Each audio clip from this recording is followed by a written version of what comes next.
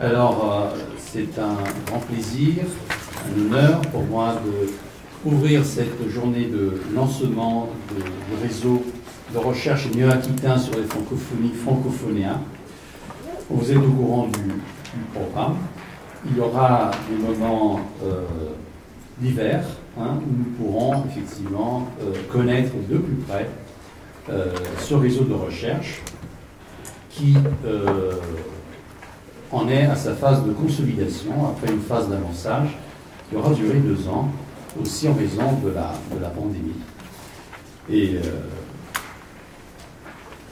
donc permettez-moi de commencer par remercier euh, l'établissement qui nous accueille, euh, la région Nouvelle-Aquitaine qui nous soutient, qui soutient ce projet, et que hier, lors de la réunion des réseaux de recherche, néo-aquitain, les 15 réseaux de recherche, je parle sous, le contrôle de Yael Kouzmine, euh, il se trouve effectivement, euh, j'ai posé la question à Gérard Blanchard, que euh, ce dispositif est une création de la région Nouvelle-Aquitaine.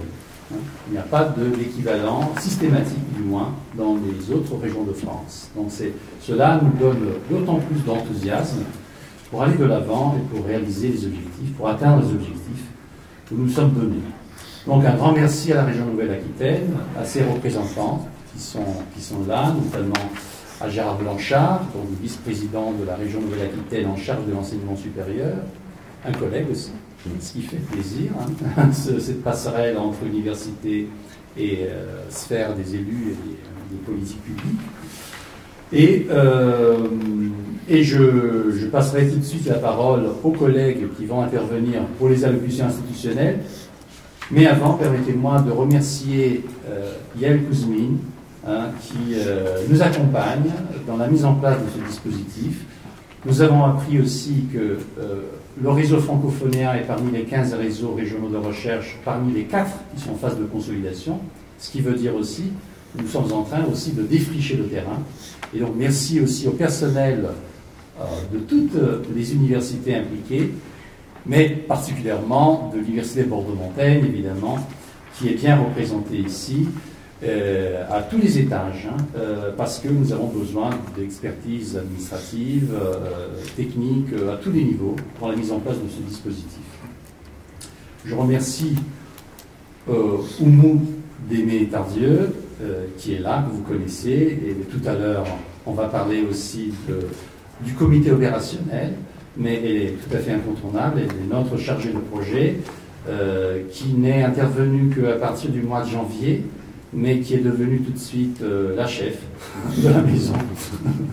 tout à fait. Donc on a pu apprécier euh, son efficacité, accompagnée depuis un mois de Azimatou Ouedrago, qui est quelque part là qui assure la communication. Vous savez qu'aujourd'hui, plus que jamais, la communication, elle est là, est indispensable pour faire vivre euh, nos activités, pour les faire rayonner, d'autant plus que euh, il y a énormément d'activités hein, à tous les niveaux, et donc pour visibiliser ce que nous faisons, il est indispensable de bien communiquer. On verra tout à l'heure le site internet du, réseau. Et, euh, et, je passe évidemment, fais l'économie des, remerciements de, tous les autres, parce que la liste est trop longue et le temps est court. N'est-ce pas, Yael? Bon, très bien.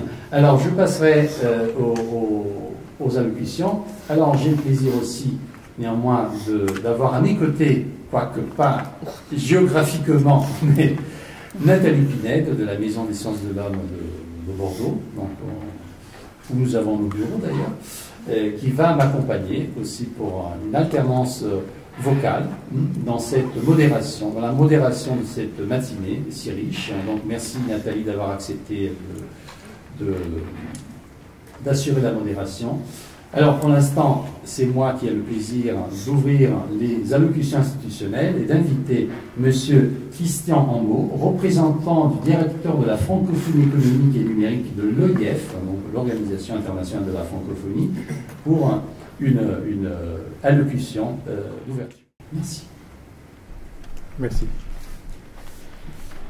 Monsieur le Président de l'Observatoire européen du multilinguisme, Monsieur le vice-président de la région Aquitaine, en charge de l'enseignement supérieur et de la recherche, Mesdames et Messieurs les vice-présidents recherche et les représentants des universités de Bordeaux, La Rochelle, Limoges, Pau et Poitiers, membres du réseau néo-aquitain de recherche sur les francophonies, Monsieur le Président de l'Académie des sciences d'outre-mer, administrateur de l'Université Saint-Gord d'Alexandrie, Monsieur le coordinateur scientifique du réseau Francophonéa, Mesdames et Messieurs. Je suis très heureux d'être parmi vous à l'occasion de ce lancement officiel et de prononcer le mot du directeur de la francophonie économique et numérique de l'OIF, Henri Manceau, qui a été empêché par une autre mission fixée aux mêmes dates. Au nom de l'Organisation internationale de la francophonie, je voudrais remercier le réseau néo-aquitain de recherche sur les francophonies pour son invitation à participer à cet événement en présentiel. Il s'agit d'une belle occasion de nous réunir ici, dans l'hôtel de région de Bordeaux. Je saisis également l'occasion de ce lancement officiel pour saluer la double démarche territoriale et internationale qui caractérise les missions de Francophonéa, qui sont animées par des valeurs d'ouverture au monde francophone dans sa pluralité et de coopération interuniversitaire dans le partage de la langue française. Francophonéa se donne pour objectif de structurer en réseau la recherche en Nouvelle-Aquitaine autour des enjeux francophones, en produisant et diffusant des connaissances scientifiques autour des francophonies, ainsi qu'en soutenant l'internationalisation de la recherche des acteurs universitaires impliqués dans les travaux sur ces sujets.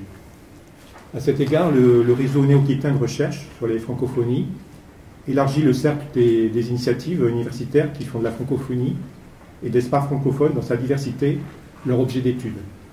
Je pense notamment à l'Observatoire démographique et statistique de l'espace francophone, OTSEF, à Québec, à l'Observatoire de la francophonie économique, au à Montréal, ou bien encore aux chaires de recherche créées à l'initiative de ou en partenariat avec la UF ou l'Université Saint-Gord d'Alexandrie.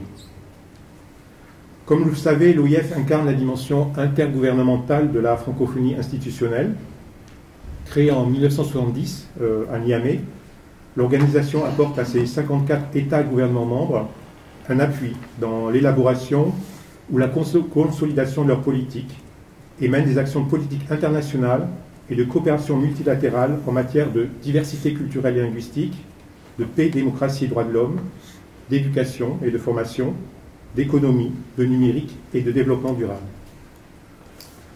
Dans l'exercice de ces missions, l'OIF contribue également, en complémentarité avec le monde académique, à une meilleure compréhension des enjeux, richesses et défis de l'espace francophone dans sa diversité.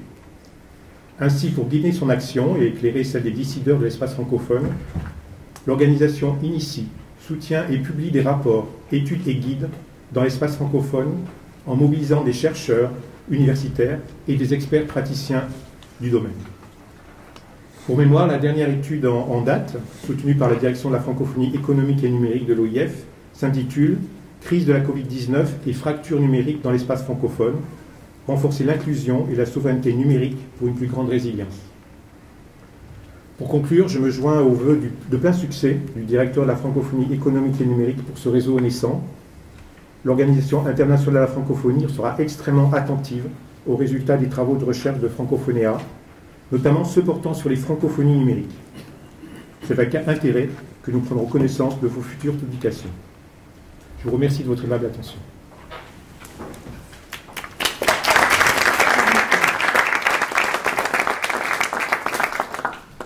Merci Christian Angot et, euh, pour cette euh, ouverture et ses souhaits.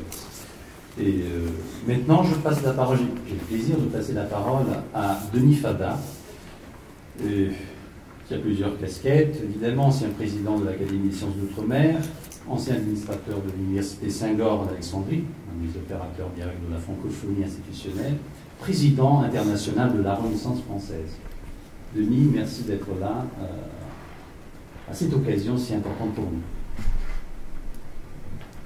Cher Giovanni, vous savez tout le plaisir que j'ai à me trouver ici aujourd'hui avec vous et je voudrais saluer les, autorités qui sont ici euh, présentes, les élus, et évidemment le représentant de l'Organisation internationale de la francophonie et tous mes collègues universitaires de Port-de-Montagne et des autres universités. Il y a notamment l'université de Poitiers qui est, représentée. Et donc je me réjouis de cette présence et de cette diversité. vous m'avez demandé de parler de, la Renaissance française. Je vais le faire brièvement. Mais si nous voulons parler de, de, la Renaissance française, il nous faut tout d'abord parler de Raymond Poincaré. Raymond Poincaré naît dans l'est de la France, en Lorraine, en août 1860. Euh, la première des trois guerres ayant opposé la France à l'Allemagne éclate en juillet 1870. Poincaré est élu président de la République française en février 1913. Son mandat s'achève en février 1920. Ces quelques dates et faits nous disent à peu près tout de Raymond Poincaré. Il a 10 ans lorsqu'éclate la guerre, la guerre de 1870. Il est témoin de la défaite, la Lorraine est amputée, la frontière avec l'Allemagne était placée, il voit arriver en grand nombre les réfugiés donc d'Alsace et, de Moselle, les optants, on les a appelés, et il découvre leur détresse. Jusqu'en 1874, il connaît l'occupation prussienne et les humiliations qui l'accompagnent. Il sera marqué, marqué à vie euh, par ce qu'il a euh, vécu entre 10 et 14 ans. Et cela fera de lui un homme euh, qui sera réellement habité par l'idée de paix. Poincaré est, est vraiment un homme de paix. Républicain convaincu, il veut agir, faire valoir ses idées, ministre de, un très grand nombre de reprises. Il sera cinq fois président du Conseil, selon l'appellation de l'époque, c'est-à-dire Premier ministre. Et, il sera président du Conseil avant de devenir président de la République et après avoir été président de la République. Et une, longévité politique euh, au plus haut niveau tout à fait exceptionnelle tout à fait exceptionnel. C'est dire le nom qu'il a laissé euh, dans l'histoire de France. J'ajouterai qu'à 49 ans, il était aussi élu à l'Académie française, ce qui est peu banal. Poincaré ne voudrait surtout pas la guerre, mais lorsqu'elle éclate, euh, il l'a fait vraiment. Comme on dit aujourd'hui, il fait le job. Hein. Il l'a fait vraiment, il se dépasse sans compter, il est sur les, sur les champs de bataille. Euh, mais s'il le fait, il, il n'en demeure pas moins obsédé par la construction de la paix. Pour lui, il faut, il faut gagner la paix. Il ne parle pas de gagner la guerre. Il faut gagner la paix et reconquérir les cœurs dans les territoires libérés. Il faut dire que depuis à peu près 50 ans, l'Alsace et la Moselle sont devenues des, régions de langue allemande et de culture allemande où parler français était, devenu interdit.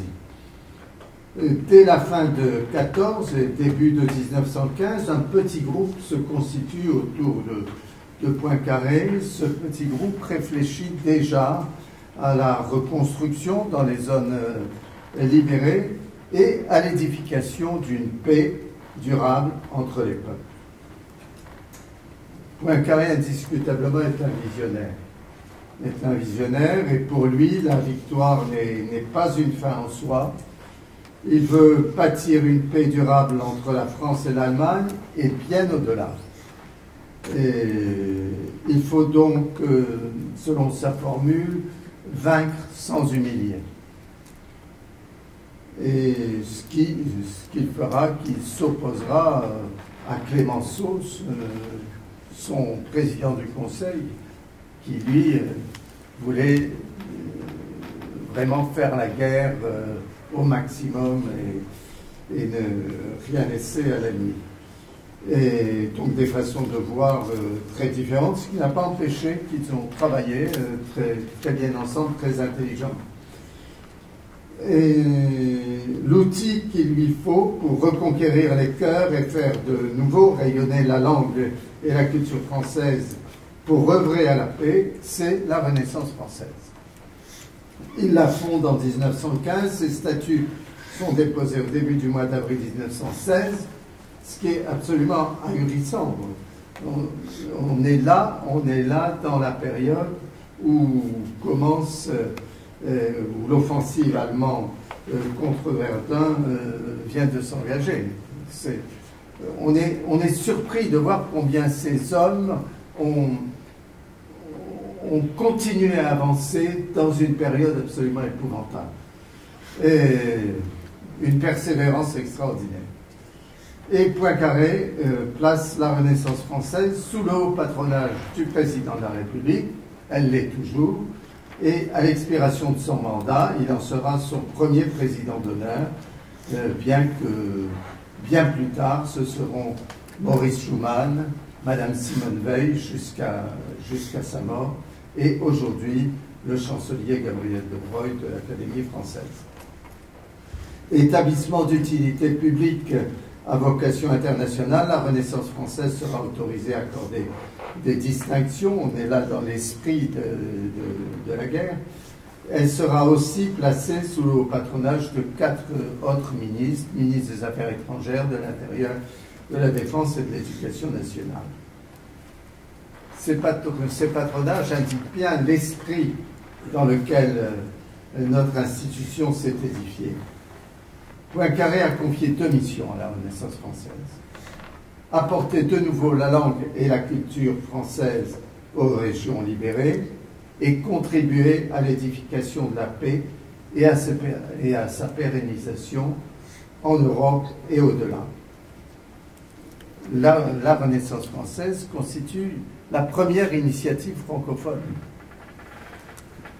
Dès sa fondation, elle intervient avec succès en Alsace et en Lorraine, et une fois la guerre terminée, dès le début de l'année 19, la Renaissance française tisse, des liens en Allemagne, en Pologne, en Tchécoslovaquie, en Hongrie, en Roumanie, en Bulgarie, en Yougoslavie, et déjà au Liban et en Égypte. Donc, tout au début des, années 20. De nos jours, elle continue d'agir pour la paix par la diffusion du savoir et de la culture, la protection des patrimoines et de l'environnement, la mise en valeur des cultures régionales et locales, la promotion des métiers d'art, l'aide aux communautés francophones dispersées et aux minorités linguistiques, ceci dans un esprit de dialogue, d'échange et de partage avec les autres cultures.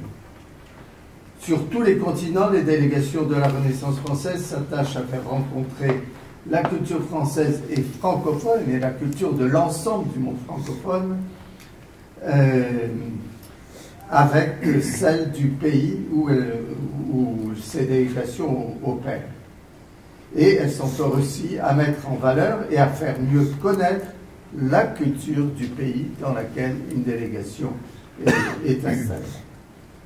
Car euh, je tiens à le, souligner, et à le souligner très, très fort si elle participe au rayonnement de la langue française et de la, et de la, de la culture de l'ensemble du monde francophone, la Renaissance française ne se veut en rivalité avec aucune autre langue et aucune autre culture.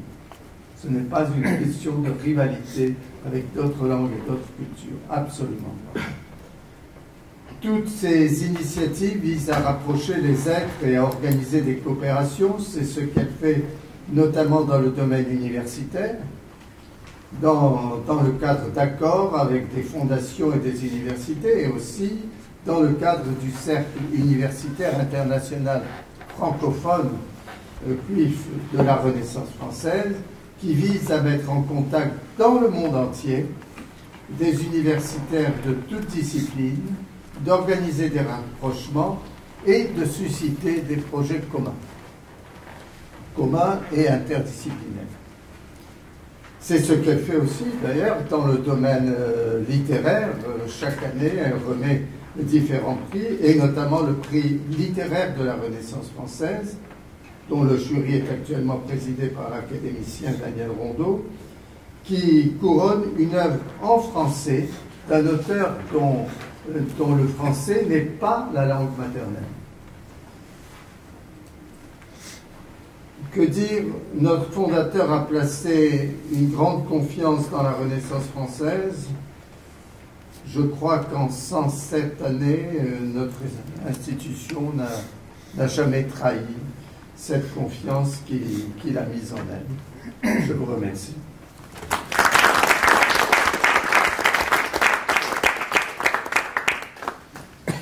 Merci euh, Denis Fada pour cette euh, présentation de la Renaissance française. Vous avez compris, on est là aussi pour rencontrer et nouer des, relations institutionnelles.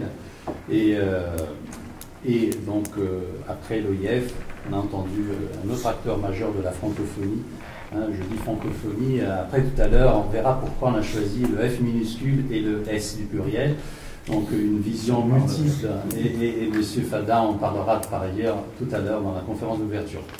Maintenant, j'ai le plaisir de, euh, de, donner la parole à Christian Tremblay, euh, le président de l'OEP, l'Observatoire européen du plurilinguisme, euh, qui a été également invité parce que, bon, vous, verrez, vous l'entendrez, parmi les missions de, de cet observatoire, il y a plusieurs, trouve, plusieurs points de, contact euh, et, j'espère aussi de, qui, vont se traduire en des formes de coopération avec les axes de notre réseau francophonien. Merci, euh, merci Christian. Euh, merci Giovanni. Oui, effectivement, merci d'abord pour ce, ce, début très brillant sur la langue française, le fait qu'elle n'est en opposition avec personne c'est une difficulté à comprendre. Hein,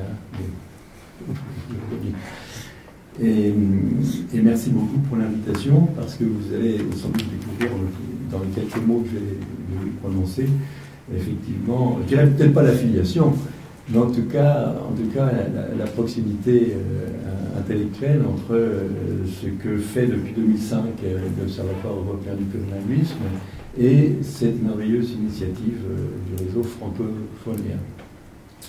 Donc quelques rappels pour ceux qui ne connaissent pas, parce que tout le monde ne connaît pas l'Observatoire, donc quelques rappels sur l'Observatoire qui est né en, 2005 euh, dans un contexte historique euh, qu'il faut en deux mots décrire. C'était une période où l'Union européenne intégrait une dizaine de, nouveaux membres venant de la dislocation du bloc euh, soviétique.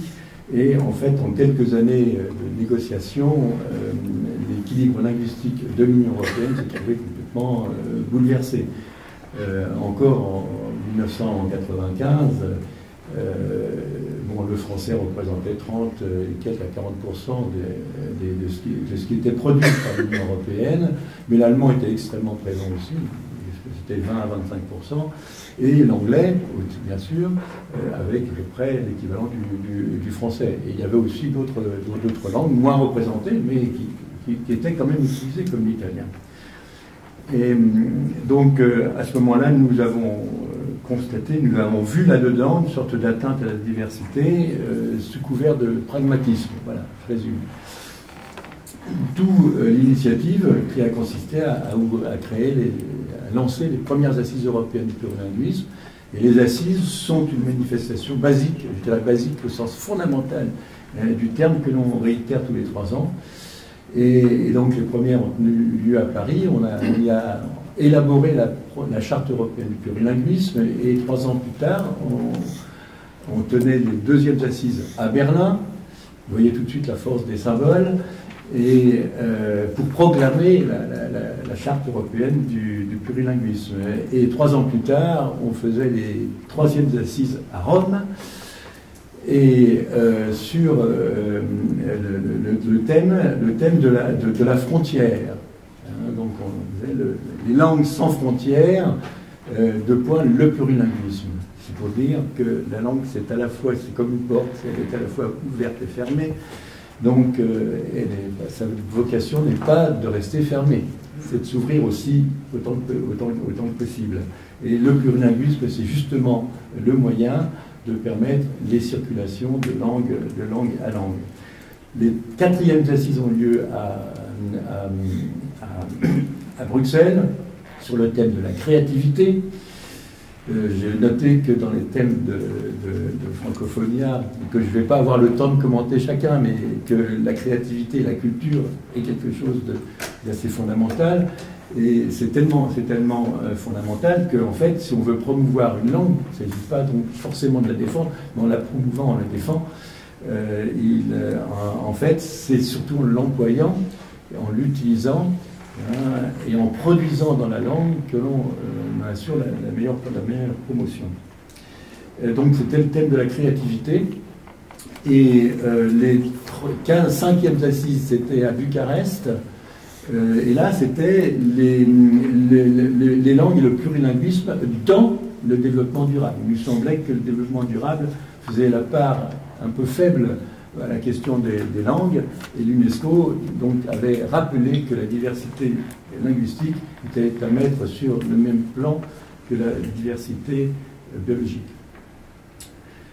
Euh, et puis les prochaines assises, puisqu'il y a les sixièmes assises qui sont en train de se préciser et qui auront lieu à Cadix, et sur un thème qui est d'une actualité brûlante, hein, puisque c'est le thème de la diversité euh, et de l'universalité.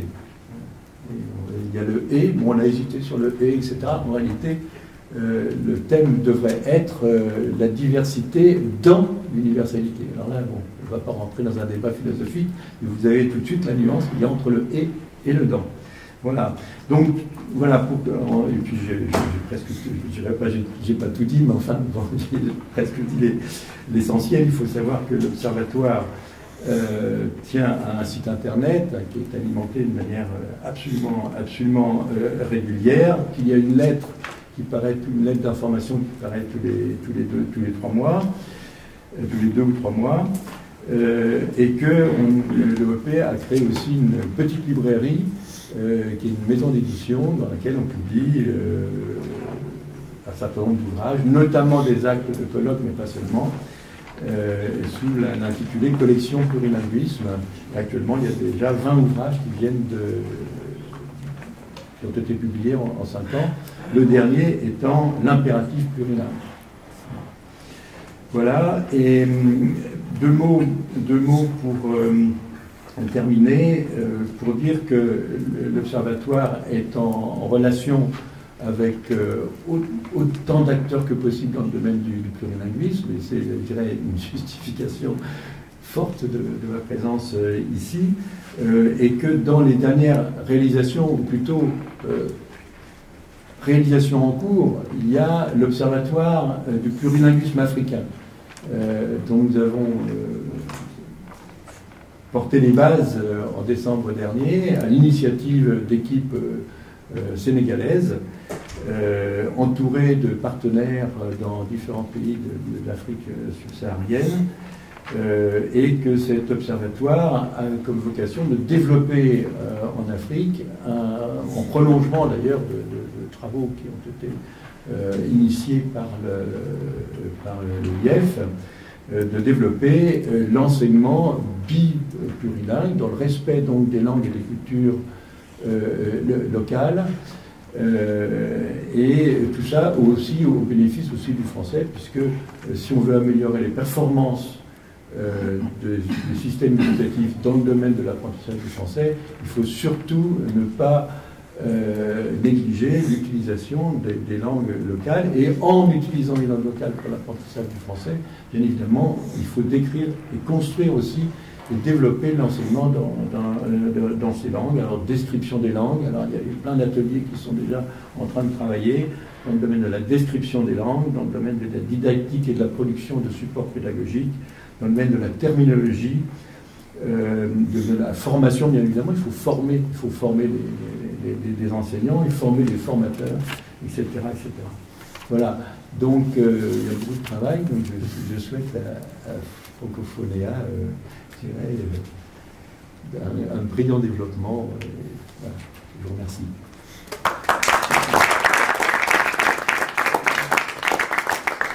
Merci, merci Christian Tremblay. Je pense que parmi dans la salle, plusieurs collègues ont, pris des notes parce que effectivement les, euh, les thèmes, ne serait-ce que les thèmes des assises que tu as évoqués, euh, dialoguent très clairement avec les axes de notre réseau francophonéen.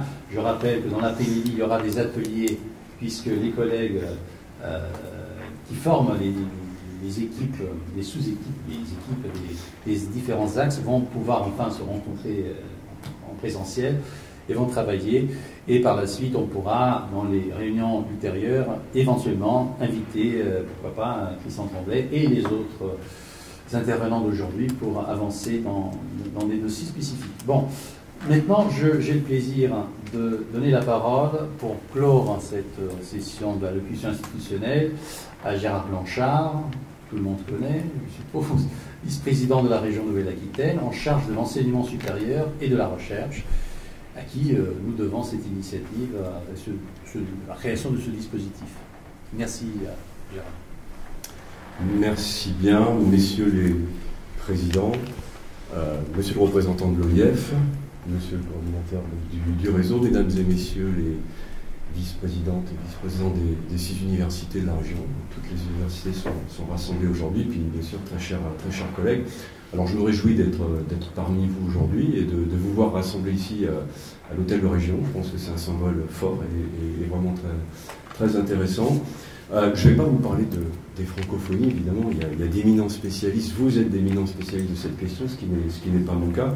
J'aimerais juste prendre quelques minutes pour vous parler du dispositif justement qui nous, réunit euh, aujourd'hui ici, c'est-à-dire ces, ces, fameux réseaux de recherche. Essayer de les, je vais pas être très long parce que je vais respecter l'horaire, mais essayer de leur positionner un petit peu dans la, politique que nous menons pour que vous compreniez bien à quoi ça sert et ce que vous pouvez y faire. Voilà, et ça je pense que c'est un, un, point important. Alors la première chose, c'est rappeler que les régions euh, sont compétentes en matière d'enseignement supérieur de recherche. Ça veut dire qu'on est autorisé à engager des financements pour accompagner les acteurs de la recherche, l'enseignement supérieur. Ça, je pense que ça. Alors, compétence, ça veut dire qu'on peut vous accompagner budgétairement, mais on n'a aucune décision à prendre. Hein. C'est-à-dire, en dehors des décisions d'engager des financements, vous savez que l'enseignement supérieur et la recherche, euh, c'est une prérogative de l'État en France, mais évidemment, nous pouvons nous engager euh, assez fortement. Et notre rôle, alors on est, on est dit chef de file des collectivités territoriales, ça veut dire que on a la responsabilité, on n'a aucune autorité hiérarchique, hein, je vous rassure, on a la responsabilité de travailler avec les autres collectivités qui veulent bien s'engager aussi à nos côtés, à vos côtés, pour élaborer euh, des politiques et puis des, dispositifs d'accompagnement et de financement de la recherche. Donc on travaille avec les départements et beaucoup avec ce qu'on appelle les EPCI, les établissements publics de coopération intercommunale, qui développent de plus en plus des vraies politiques de recherche et dégagent des moyens. Donc on essaye de faire en sorte de bien s'articuler et de vous accompagner euh, au mieux. Donc ça, je pense que c'est un point important. Et bien entendu, étant compétent dans le domaine, on essaye de travailler au plus près des établissements d'enseignement supérieur, les universités, les écoles, les organismes de recherche, voilà, et euh, d'entretenir des liens, euh, des liens forts. Ce qui veut dire qu'on a développé un certain... Alors, on a une stratégie. Notre stratégie, elle a été rédigée il y a déjà quelques temps, hein, dans notre mandat régional précédent. On l'a voté par l'Assemblée régionale c'était début 2018, ça s'appelle le schéma régional de l'enseignement supérieur de la recherche et l'innovation. C'est pas très original, mais c'est précis. Euh, on a cinq grandes ambitions, je ne vais pas vous en parler, mais il y en a deux qui nous concernent directement ici. La première, c'est qu'on euh, vise à renforcer la recherche dans notre région. Voilà. On s'est rendu compte que finalement, malgré les efforts importants que fait notre région Nouvelle-Aquitaine, et ça c'est dû à notre président qui depuis bien longtemps a compris l'importance de la recherche pour la société, eh bien on s'aperçoit que la dépense, euh, ce qu'on appelle la dépense intérieure recherche et développement en Nouvelle-Aquitaine est inférieure à la moyenne nationale. C'est dû à deux raisons principales. La première raison, c'est qu'on est une des régions, il y a deux régions en France comme ça, où euh, l'implication du privé est inférieure à celle des administrations. Alors l'administration c'est vous, c'est vous, hein. voilà, c'est-à-dire le, public, donc euh, même si on est une, une région industrielle. Et la deuxième chose, c'est que pour des raisons qui sont plutôt historiques, il y a un déficit d'implication des organismes de recherche dans nos universités, dans nos laboratoires. Ce qui fait que la masse salariale est beaucoup plus faible. Et donc, évidemment. D'où le fait qu'on ait, on choisi comme ambition de renforcer le potentiel. Voilà, donc avec des projets de recherche, en essayant de faire venir les chercheurs, on a, des dispositifs euh, pour ça. Euh, et puis, euh, l'autre point important, c'est d'essayer de faire travailler les chercheurs ensemble. Et là, j'en arrive évidemment à ce dispositif, les réseaux régionaux de recherche, je ne sais pas si on a inventé, en tout cas on a voulu mettre en place euh, des, regroupements de chercheuses et de chercheurs pluridisciplinaires, et ça on y tient beaucoup, On est convaincu que c'est au croisement des regards, des disciplines qu'émergent des choses nouvelles, des étincelles, des envies de faire. Euh, et puis en coopération. Voilà, vous savez, c'est pas à vous que je vais expliquer ça. Le monde, la recherche a fortement évolué à travers les appels à projets, beaucoup de compétitions. Euh, plus de temps pour réfléchir ensemble. Et donc l'idée c'est ça, pluridisciplinarité, coopération sur un espace régional, parce qu'on veut aussi avoir une, une, une politique régionale. Et, l'idée c'est que sur ces collectifs qui se constituent, euh, on ait une capacité à mobiliser une communauté, de l'expertise, et essayer de vous intéresser aussi aux questions de politique publique que nous avons apportées, nous et d'autres collectivités. Donc ça, je pense que c'est un, un, point euh, extrêmement euh, important. Donc on a décidé de créer ces réseaux. Euh, l'idée, euh, c'est aussi de cibler, qui sont de recherche bien entendu, mais qui sont des enjeux de société, des défis sociétaux qui se présentent à nous. Ça, je pense que c'est important. Tous les réseaux qui ont été créés, qu'ils relèvent de, par exemple, les francophonies ici, euh, qui relèvent de l'environnement, qui relèvent de questions plus technologiques ou des domaines de la santé, sont tous des réseaux qui ont été constitués d'abord en identifiant une question, un défi sociétal, et en remontant, on essaye, soit à notre initiative, c'est un petit peu le cas ici je crois, soit euh, en répondant euh, à la demande d'établissements ou de chercheurs. On a des collectifs de chercheurs parfois qui viennent, deux, trois chercheurs, en disant sur ce sujet qui intéresse la région, oui, on est capable de monter quelque chose, et voilà, donc, on essaie. Alors, ces réseaux finalement, c'est de la recherche, donc ça rassemble des chercheurs, mais l'attente, c'est aussi de rejoindre les